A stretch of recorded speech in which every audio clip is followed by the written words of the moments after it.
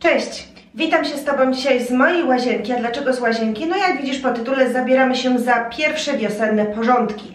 A jak porządki? No to może właśnie warto zacząć od łazienki a, i posprzątać o, o, o, o w tych szafkach, które są tutaj za mną. Czyli dzisiaj pokażę Ci a, oprócz zwykłego tradycyjnego sprzątania, przede wszystkim organizację kosmetyków.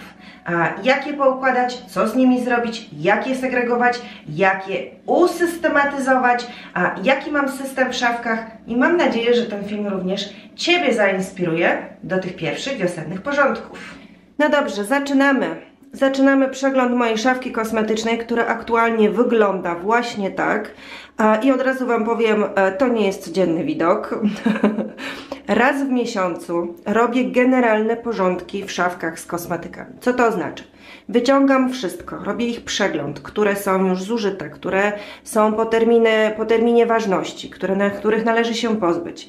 E, robię po prostu w nich generalny porządek. Czyszczę szafki, pod każdym względem. Dzisiaj Wam pokażę co i jak. Wyciągam nowe kosmetyki, opisuję, e, też zaraz Wam pokażę co i jak, daty i całą resztę. I robię to raz w miesiącu. Oczywiście, raz w tygodniu robię też taki standardowy przegląd szafki, czyszczę kosmetyki, usuwam kurz i tak dalej, ale ten główny taki najbardziej intensywny przegląd szafek, czyli ta organizacja odbywa się raz w miesiącu. Jak widzicie, mam szafkę podzieloną na trzy półki. Co to oznacza? Na tej półce znajdują się kosmetyki, które używam codziennie, po które najczęściej sięgam. Mam je po prostu na wysokości wzroku, więc wiem dokładnie wszystko co i jak. Na wyższej półce znajdują się zazwyczaj kosmetyki, e, po które sięgam już rzadziej, na przykład raz w tygodniu, dwa razy w tygodniu i nie tylko, a na ostatniej półce znajdują się takie produkty, po które e, sięgam no właśnie najrzadziej, na przykład raz w miesiącu albo raz na dwa tygodnie. Dzięki temu, że mam taki system w szafkach, wszystko dokładnie wiem co i jak. Gdzie mam konkretne kosmetyki, które muszę używać codziennie, które nie, gdzie mam na przykład jakieś urządzenia i tak dalej. No słuchajcie, ten system sprawdza się u mnie najlepiej. Nie wiem, czy Wy też taki system macie. Jeśli tak, to dajcie koniecznie znać. Być może Wasze szafki w środku wyglądają nieco inaczej niż moja zapewne też tak jest, e, macie podział na większą ilość półek. Ale jestem bardzo ciekawa, jak Wy organizujecie szafki z kosmetykami do takiego codziennego użytku i nie tylko w Waszej łazience. Piszcie w komentarzach. Tak jak powiedziałam na początku, zaczynamy organizację w szafce, więc pierwszym takim głównym e, etapem jest wyciągnięcie kosmetyków, przejrzenie ich, i pozbycie się tych, które są już zużyte lub po terminach ważności.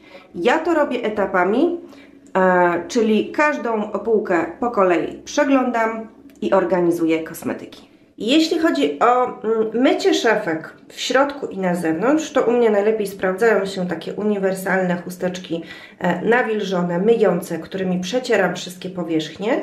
Oczywiście będzie też potrzebny ręcznik papierowy, e, a te flamastry są po to, by zapisać, później Wam pokażę, na dnie opakowania od spodu e, datę otwarcia danego kosmetyku.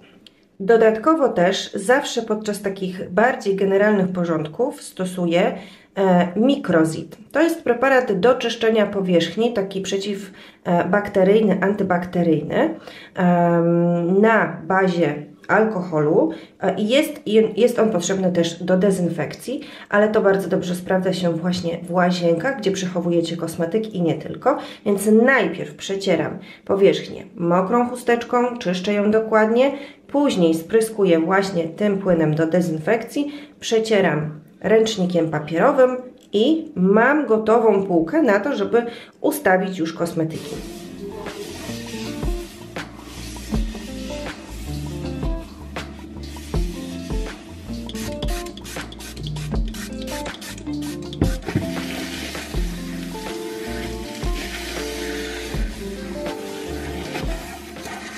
Przed ułożeniem kosmetyków w szafce pamiętamy również, by dokładnie je przetrzeć, wyczyścić opakowania. Wszystkie takie miejsca, jak właśnie na przykład tutaj mamy dziurki, um, całe buteleczki. Pozbywamy się brudu, pozbywamy się bakterii. No wiadomo, czyścimy nasze kosmetyki nie tylko po to, żeby ładnie wyglądały w szafkach, ale po to też przede wszystkim, byśmy i my mieli większą gwarancję higieny no i świeżości danego kosmetyku.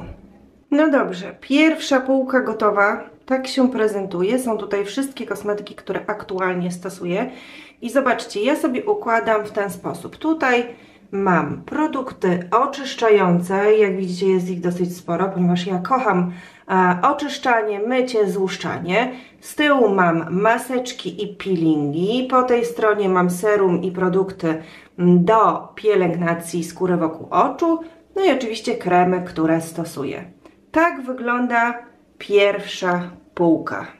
Po co mi takie markery podczas porządku w szafkach? No między innymi po to, żeby zapisać na spodzie opakowania, na dnie od zewnątrz, datę, w której otwieram dany kosmetyk. Dzięki temu pamiętam, że na przykład jeśli na opakowaniu mamy informację 6 miesięcy od przy, przydatności danego kosmetyku, od jego otwarcia, to wiem, że od tej daty, w której otworzyłam ten kosmetyk, liczę sobie 6 miesięcy i później mam pewność, czy jest on jeszcze zdalny do użytku, czy mam go już wyrzucić, czy powinnam go już zużyć, bo kończy się jego termin przydatności.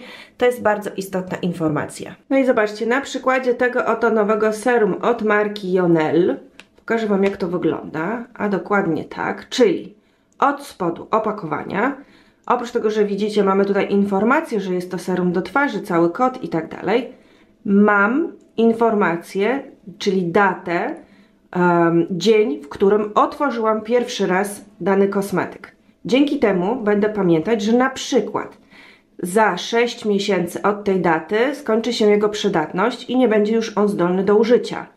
Albo będzie zbliżał się termin jeszcze będę go dosyć sporo miała, więc trzeba będzie go zużyć, intensywniej stosować. No to jest, słuchajcie, bardzo istotne w pielęgnacji, ale również w organizacji kosmetyków i w tym, na co wydajecie Wasze pieniądze, żeby pilnować tych dat przydatności a, i pilnować, żeby kosmetyk był przydatny do użytku i nie zrobił Wam krzywdy na Waszej skórze. No i oczywiście myślę, że jest to dla wszystkich istotna sprawa i oczywista, ale przypominam, że taki marker musi być wodoodporny, żeby właśnie ta data nam się nie starła z tego opakowania, które będziemy codziennie używać. Mokre dłonie, wilgotne powierzchnie i tak dalej, więc musi to być właśnie taki odpowiedni marker. Porządek na drugiej półce również zrobiony. Jak widzicie, no, E, zwolniło się troszkę wolnego miejsca i teraz tak, tutaj mam produkty do pielęgnacji ciała plus moje ukochane ręczniczki Tami, a tutaj widzicie deo. Jeszcze można by było coś tam schować, o tu, tu, tu, tu, tu, ale najważniejsze, że pierwsze dwie półki mamy już gotowe i została nam ostatnia. Na ostatniej półce trzymam sobie taki pojemnik, w którym mam e, różne urządzenia, końcówki, um, akumulatory, ładowarki itd. Tak plus urządzenia, z których korzystam stale w mojej pielęgnacji. No i widzicie środki takie o do dezynfekcji. I słuchajcie, mamy to. Mamy zrobiony porządek w całej szafce. Prezentuje się właśnie tak. Przypominam również, że podczas porządków w szafkach wycieramy również tam górę. Na samej górze czyścimy wszystko, pięknie, ładnie usuwamy kurz.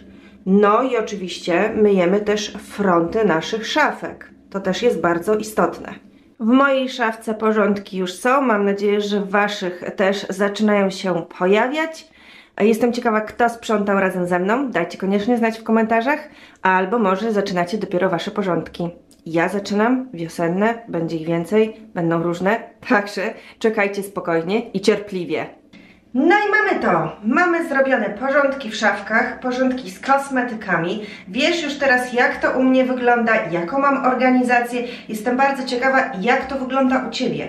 Czy też e, organizujesz w ten sposób e, swoje kosmetyki? Gdzie je przechowujesz? E, może w sypialni? Może właśnie w łazience? Daj koniecznie znać i widzimy się w kolejnych poradach i kolejnych porządkach wiosennych.